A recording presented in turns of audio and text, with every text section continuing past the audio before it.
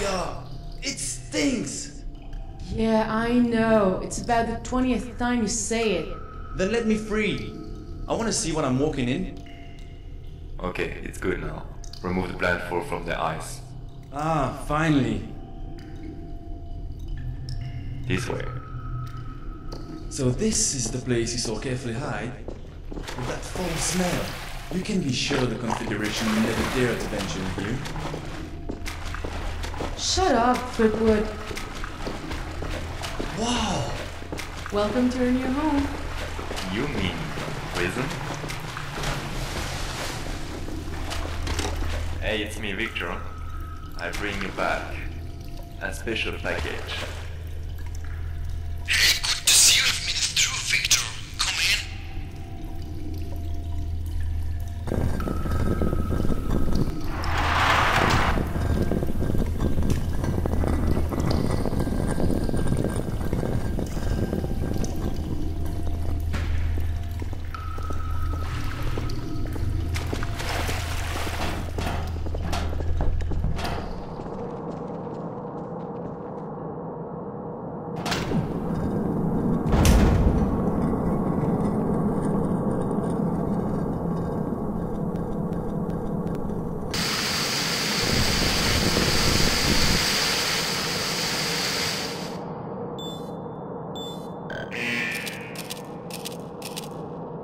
Close.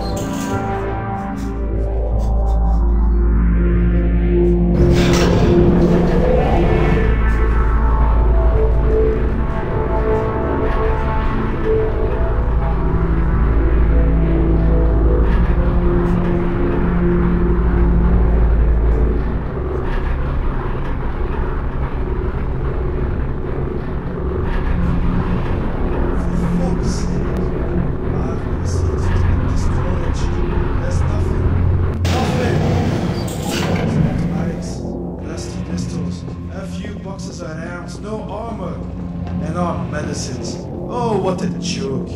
Only first aid equipment and the stock is going down each second. We've all these bloody wounded and refugees coming in from everywhere. Now this is a desperate situation.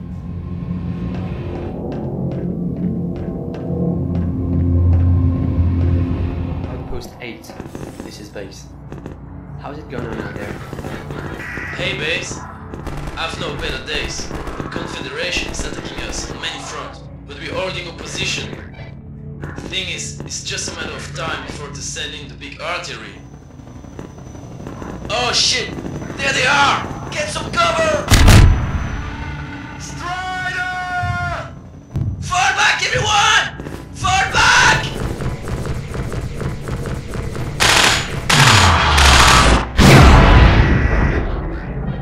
Don't worry, Wisp. Henry's a clever man. He will find a way out of trouble. Victor, it's good to see you back. And bring us optimism. You and your lovely sister. What a pleasant surprise. Hmm. And I see you're coming with two valuable guests. Let me introduce you, Colonel. Colonel Mendler and Major Thripp. I know. I'm sure you won't be surprised to learn that we're tapping your communications. Of course. Will anyone let me introduce you someday? And now, you're in this really bad situation, just for having saved Zero's lovely skin. Mm, actually, we. When I need your advice, Major, or should I say, Prisoner Threepwood, I let you know. Look, if you think we are spies, even if there is no reason to spy on you because you are no threat to the Confederation, or if we are of no use to you, shoot us. But I think it already would have been done if this is what you were thinking. It's true. There is some intelligence we are willing to retrieve from you. Whatever the way. No need to go the hard way. We have deliberately left the Confederation because Freeport and I didn't feel at our place anymore. But if we are here now, it is to offer you our help. Take it or leave it. And tell me, what kind of help do you think you could offer? As I said before, you are no threat to the Confederation. But I could help you become one. Being a colonel, I had access to many confidential informations only a few are in possession of. Locations of the Confederation outposts, landing zones and supply areas. At the view of your situation, I am sure this is the kind of help you are highly looking for.